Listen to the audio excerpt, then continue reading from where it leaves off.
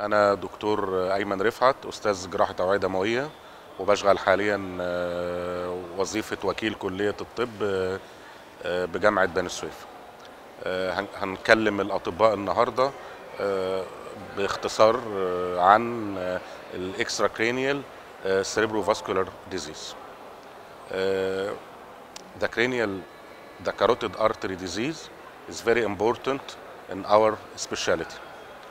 Uh, nowadays we are in a dilemma how to manage such cases uh, in broad the starting point of our concern when the patient starts to complain either of uh, transient ischemic attacks or well-established uh, stroke.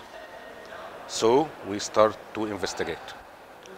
Uh, our critical stenosis value starts at uh, 70%.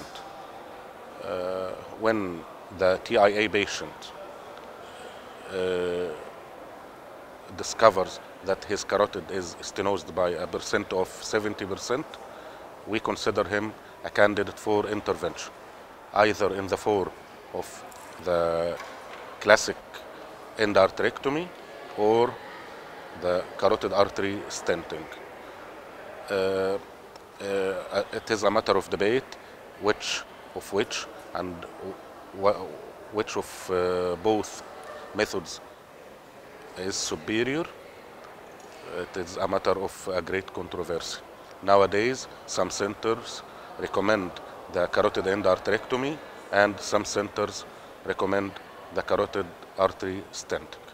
But generally, the carotid artery stenting is in somehow declining in percent.